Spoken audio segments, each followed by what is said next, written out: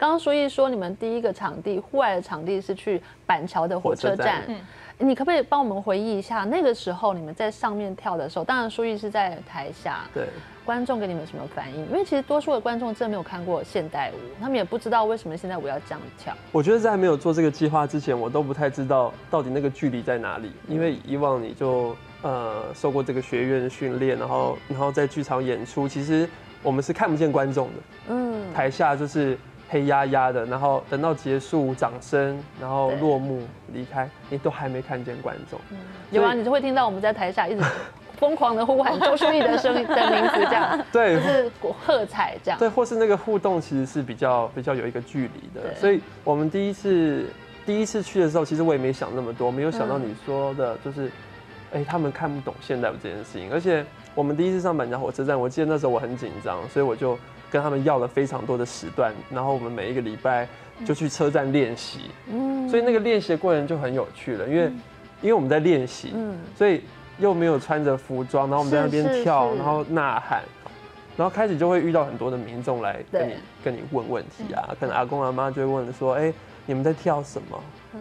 问一下，然后我们就跟他说在跳现代舞，嗯。现代舞，而且啊啊下回自己下回就是会问自己下回的。对对对，那我我觉得就是尽量跟他讲，就是礼拜六有演出，你下礼拜一定要来看哦，你来看就知道会会是什么了。嗯，这样就很多类似这样的对话产生。那他们会问你说，为什么中间要有个电风扇吗？为什么舞者要一开始要呐喊吗？我就说我们现在在排练，啊，你现在等一下你就会看到，啊，你要修起来，你修起来，然后待会就会感觉一下，这样。通常就希望他可以看一下啦，呃，激起他的好奇心，对，然后也希望让他自己去想象。希望他别走这样子。你们旅行过这么多地方，有没有碰过比较有趣的民众给你们的反应？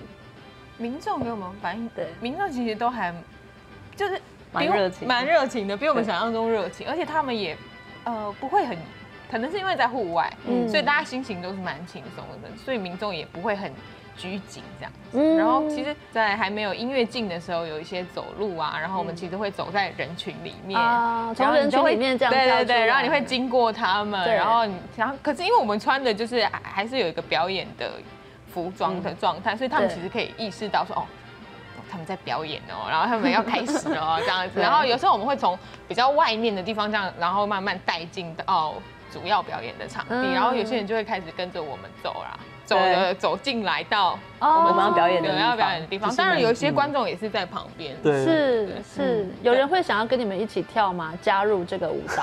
目前还没有 哎，希望小朋友啦，对，嗯小朋友就会跟着在那边跟你们在叫叫我，然后他们就啊，然后他也会跟着对，他也跟着我们一起叫，这样就很有趣。对，小朋友的反应对小朋友。当在四四南村的时候，我记得一二年的时候，那一场就因为四四南村那边常常会有很多小朋友，嗯。可能在那边爬那个山坡啦。对，那其实因为有趣的是，我们不一定会遇到特定来看的人，是。就是有一些是他刚好在那附近玩，嗯然后他于是他选择靠近，那那时候他们就更自然、更轻松。嗯。小朋友甚至在旁边这样旋转啊，就像他刚刚说，我们叫，然后小朋友就会自然反应跟着叫，嗯。大人看到的时候也会觉得很有趣。嗯。其实我觉得一部分来说，小孩有那个很直接的反反射状态，嗯，去好像他有点表达他看到了什么，对，对，但是反而大人会比较冷静的在在思考。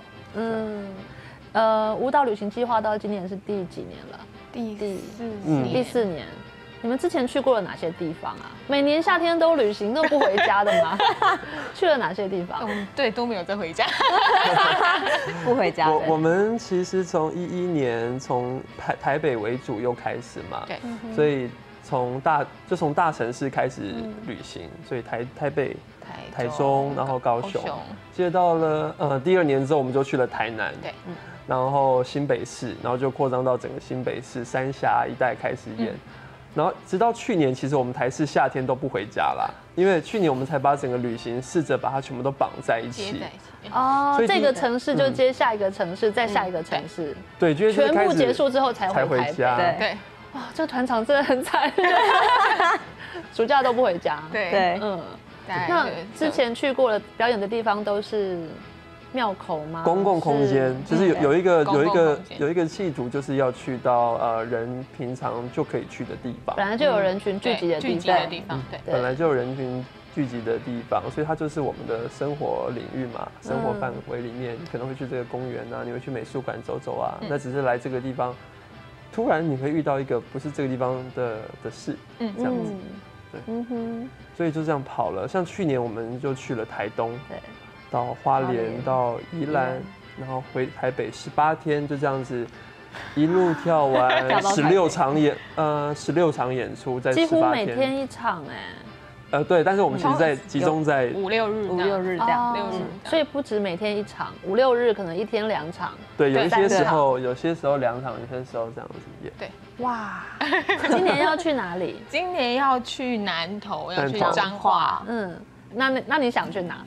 我因为我之前就是之前其实有有问说去家了，对，去回家乡的事情嘛，所以其实，在哦一一二年的时候嘛，对，一二年的时候，孝就慈是哪里我是台南人，哦。所以一二年的时候就有回到台南这样子，嗯。嗯，有一个很有趣的经验这样。嗯因为因为十八岁之后上来台北念书，其实也都很少回家这样，嗯。然后回家可能就是都在家里面。是。对啊，所以那一次回去的经验是非常有趣的，因为回到自己家乡，然后嗯那些你好像很熟悉，但又其实有一点陌生的人群们这样子。嗯对啊，所以那那一次带回来的感动很大很多。家人有混在人群里面看吗？有有有有混在人群里面 说什么？说什么？就是说很辛苦哈，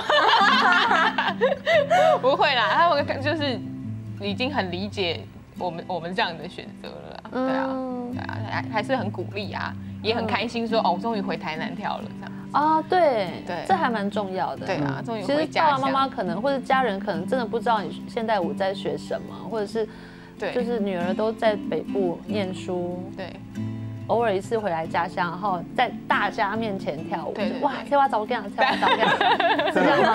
很开心。对啊，对啊。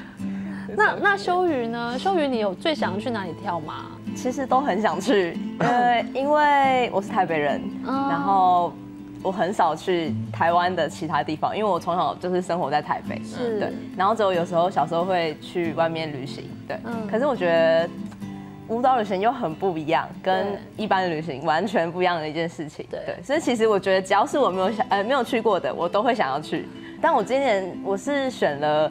金门跟苗栗，就是我查这两个，就都没有为什么呢？为什么最想去金门跟苗栗？